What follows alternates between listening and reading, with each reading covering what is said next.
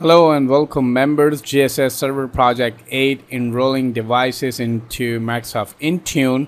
And this is going to be really interesting video because in the previous video we've built the foundation. We've showed you how to organize things in the Intune and how to enable this auto enrolling in Microsoft Intune. And now it's time for the practical example how those machines, how those users will automatically get enrolled into the Microsoft Intune. So here's let's move to our JSS machines and let me show you how it gonna enroll into the Microsoft Intune. So let's move to the machines. Now there you go. This is the Windows 10 machine and I'm going to right click to the start and there on the start menu I'm going to launch the settings and here let me click to the accounts and go to the access work or school.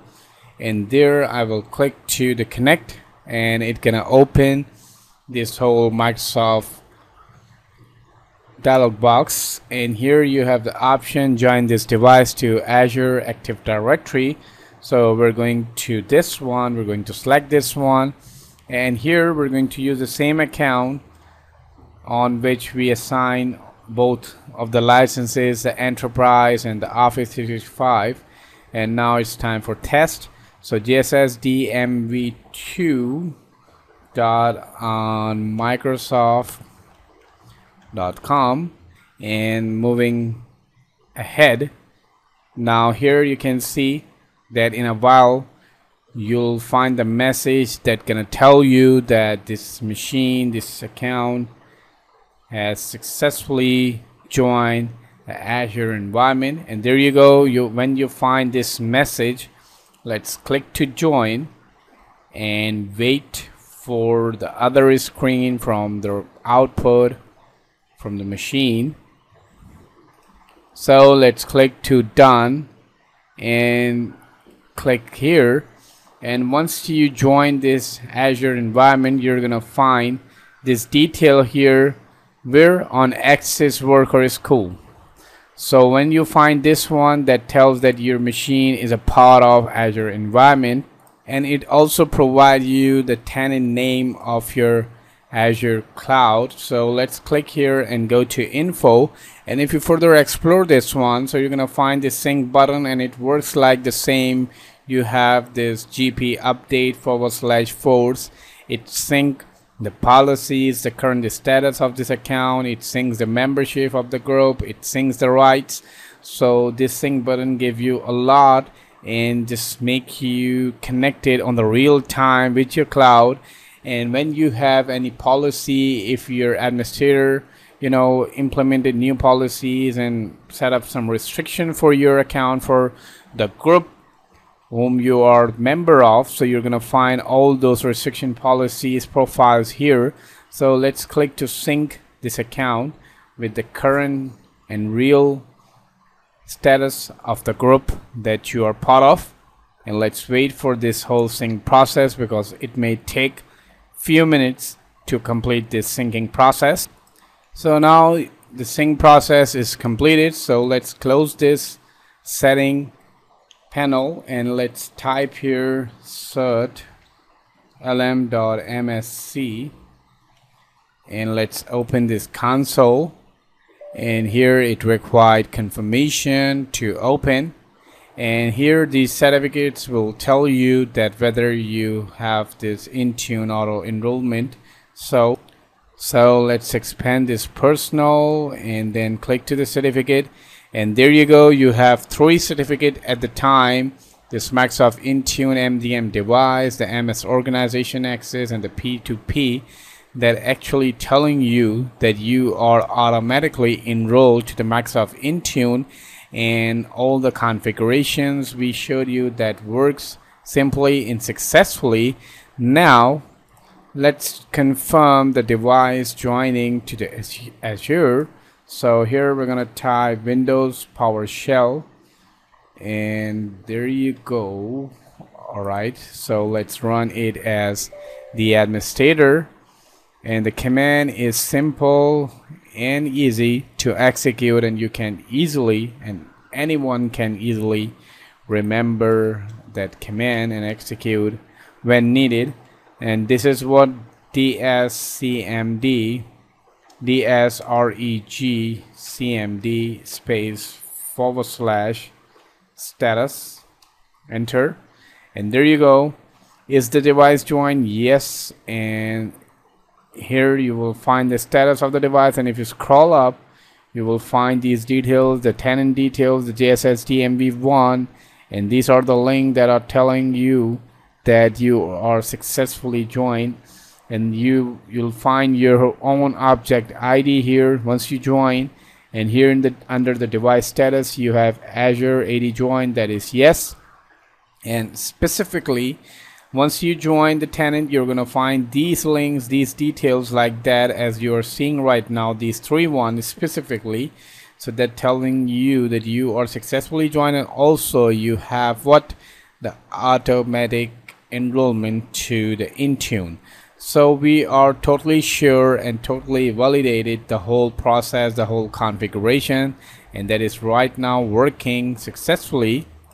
So now let's log into that specific account that we used to join this machine to the Azure. So simply do what? Just right click to sign out from your local account and then double click here and go to the other user and type here JSS triple P2S JSS and then DMV2 dot on Microsoft com. And here's a password that you set for this account and then press enter. And there you go. It is collecting the details creating the new profile for the first time for the first use and there you go hi that actually the symbol the notification that tells you that you are too near to login and it is preparing things for the first time. And there you go it is asking for the security. So let's proceed with the policy with the way it authenticates and secure its users. So there you go. There's a process you need to finish for login first time. And there you go on the background. You you can see our JSS logo, our customization that we did for our Azure environment. And it's up to you. You can configure as you like and what your organization needs. It's up to you. And now here's you need to go through this process to authenticate yourself because you're about to using the Azure account in your local machine. That's why it needs your basic details to validate you to validate this whole login process so here I'm going to use my number and then I will proceed so and once you provide your mobile number then it requires some pin. So I'm going to use the pin that I always use in my accounts. And the best thing is that you cannot see what I type. Now here it is preparing for the first login for the first time use of the Azure account within your local machine. And there you go. You're successfully logged in to the Azure tenant. And now it's time to validate and verify the devices on the endpoint.azure so here we need to log into this link endpoint.microsoft.com and here let's navigate to the devices. And here's once you click to the devices you will once you need to when once you start seeing the output in the middle then take your decision and then click. So here let's wait for the total output. And there you go. You will find this whole screen and then and now then click to the if you want to verify so you're gonna find the Intune enrolled devices. And there you go. You have two right now. And if you want to see that which two devices are automatic enrollment based devices so you're gonna find these two ones so one the help desk one that I did before was not done successfully that was some other project some other machine. So this is the right machine the machine which we used during this whole lab. And it is compliant compliant so that tells that you are successfully enroll in the Intune automatically enroll in the Intune and all our configuration all our steps that we showed you clearly discuss each and every step in the previous video in the previous project. So all work and all looks good here. Now this time we're going to verify a whole each and everything on where on the Azure portal.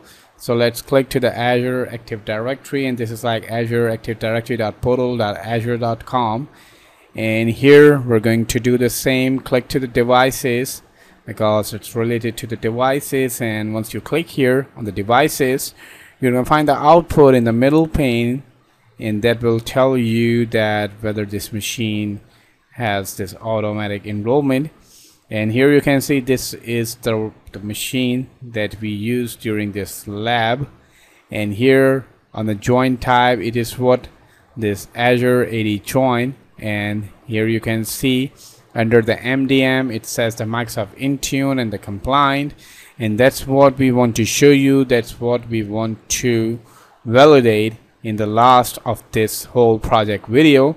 And I hope you catch the whole concept and you clearly watch each step because each step is playing a vital role in adding and in using this whole feature that Azure is offering.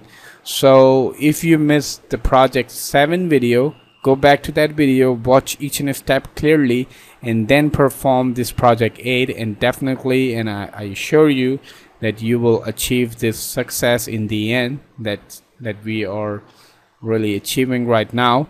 So that's how these things work and like I said in each every video to learn real world IT skill log on to the jobskillshare.org thanks for watching guys